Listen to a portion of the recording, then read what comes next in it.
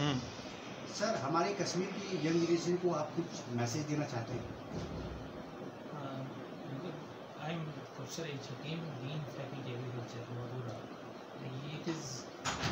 function part of the university and technology Kashmir the faculty is importing training education to the students we have seven hundred students undergraduate pass out इस वक्त जो पास करेंगे hundred twenty three इनका जो course curriculum है, वो तीन साल पढ़ाई के लिए है और एक साल इनका farming experience experiential learning and rural agriculture work experience इसमें बच्चों को हम ट्रेन करते हैं how to develop their own entrepreneurship with marketing abilities production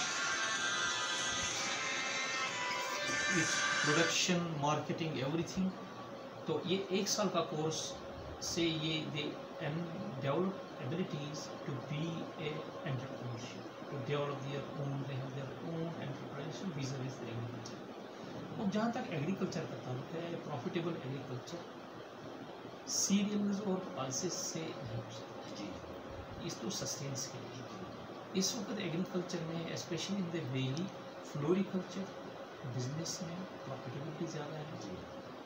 seedling production में इस प्रॉफिटेबिलिटी सबसे ज़्यादा है।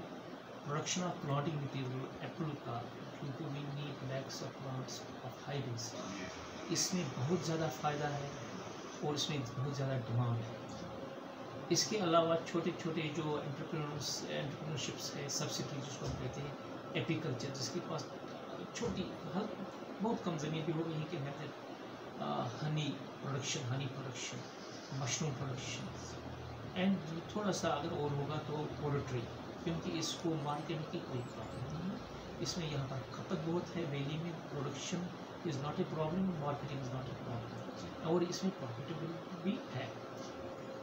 इन चीज़ों में अगर हमारे नौजवान, इस वक्त भी रुझान बढ़ेगा, उनको नॉर्दर्न से going for the government jobs to start their own units units of production relating to agriculture, horticulture, floriculture they can sustain they can have the profitability और इस वक्त भी वेली में बहुत से ऐसे फार्मर हैं young farmers those they have started production of flori they are doing the business in floriculture mushrooms और कोई सीड प्रोडक्शन में भी है।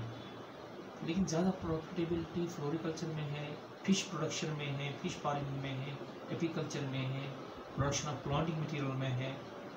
इन चीज़ों में अगर हमारे because they have the technical उसके लिए उनको कोई and the experience they gain during one years of entrepreneurship programs here, Rural Agriculture Work Experience, or uh, Ready Program, Rural Entrepreneurship Development Yojana. Under that, they go for a training of one year and they develop those skills, communication skills, marketing, production.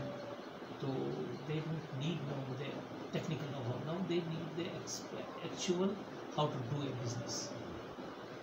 I wish that, I hope that at least 5 to 8 percent of our students have in their minds they will start there. This is really fact. We interact uh, with our students. 5 to 8 means about 10 boys are going to have their own programs of, and they will develop, develop their own entrepreneurship regarding someone is interested in production of high density plantations from mailing series. For that they need the assistance. The university can provide them the roadstock at a reasonable cost. But private agencies are there for them marketing is not a problem sir मोटे लफ्ज़ों में अगर हम ये कहें कि अगर किसी कोई कश्मीरी नौजवान अनएम्प्लॉयमेंट बेरोज़गारी से अगर बचना चाहती है और उसके पास जो है अगर ज़मीन भी है और एग्रीकल्चर को लेके अगर पढ़ती है तो कम से कम क्या क्राइटेरिया होना चाहिए? कितनी ज़मीन होनी चाहिए उसके पास? वन एकड़ जब हम कहेंगे कि ज़मीन कितनी which can be his minimum requirement to sustain a family So it depends upon what he is growing. If he grows, starts growing the paddy or maize, or it will not give him more benefits, more returns.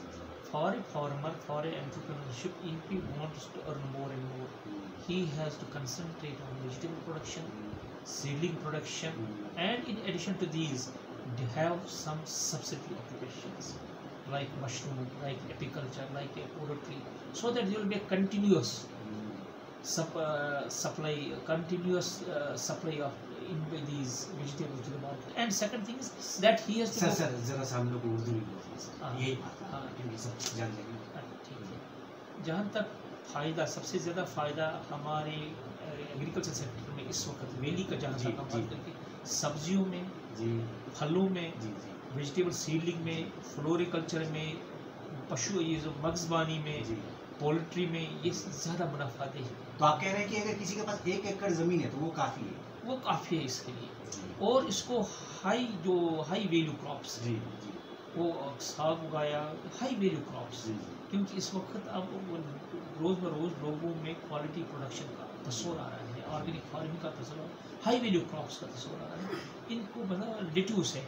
Multiple का types of lettuce जी hundred rupees eighty rupees hmm. दे सब end of season जी off season vegetable इसको फिर hi tech agriculture जिसको कहते हैं पॉली हाउस ग्रीन हाउस इन चीज़ों का there is a combination of demand with the, uh, they have to mingle they have to assimilate the technology engineering components and the organic production hmm, all these things have to be related then to the market market क्या चाहता है हमारी uh, ग्राहक कैसे चाहता है इस वक्त ग्राहक के लिए परेशानी नहीं है कि मुझे सबसे अच्छा सा चाहिए। उसके लिए परेशानी healthy crops I need healthy vegetables I need जिसमें दवाई का छिड़काव बहुत ही कम. कम क्या कुछ नहीं होना चाहिए। तो ही पे बेटर फॉर और शुक्र है कि वेली में जहाँ तक सब्जियों का ताल्लुक है यहाँ पर इस दवाई इसमें न होने के बराबर हाँ। कोई केमिकल ये है जो इंसेक्टिसाइड इसमें नहीं लगाते जी। छिड़कते नहीं। जिस तरह आप देखते पंजाब में वहाँ पर मौसम ही ऐसा है। ज़रूरी है उनको कि वो कीड़े मकोड़ों की दवाई लगाए यहाँ पर ऐसा नहीं है यहाँ पर सब्ज़ियाँ इस वक्त हमारे पास कद्दू है इस वक्त है बैंगन है टमाटर है nobody sprays any fungicide any insecticides so they are free from these health hazards insecticide residues mister dean of agriculture का बहुत बहुत शुक्रिया मोबाइल okay thank you